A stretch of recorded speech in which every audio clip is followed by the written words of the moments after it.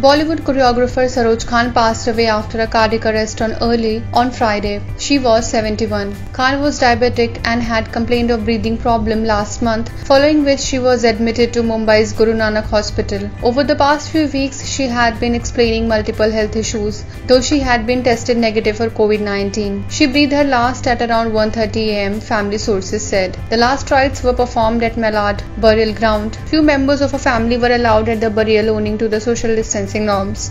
Khan won the National Award thrice in her lifetime. One of the most prolific choreographers of the Hindi film industry, Khan fondly called Master Ji in Bollywood, had called the shots in over 2000 songs spanning over four decades. Although Khan started out in the early 70s, she really became a household name in the mid to late 80s first directing some memorable dances for Sridevi, then Madhuri Dixit, the reigning superstars of the era. Khan started out choreographing with the 1974 film Geeta Mera Naam. It was the 1986 film Nagina that made her household name.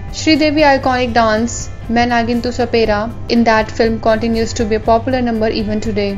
Her choreography for Sridevi the next year in Mr. India Particularly, the song Hawa Hawai then scaled popularity. Khan has also given Madhuri Dixit some of her most iconic hits, including Ek Do Teen and Dhak Dhak, among numerous others. Lately, Khan has been selective with signing projects. Her recent works include choreographing Kangana Ranaut in Manikarnika last year and Tanu Weds Manu returns in 2015. Her last major assignment had been directing Madhuri's moves in last year's release Kalank. Khan is survived by her husband, son and two daughters. IANS report.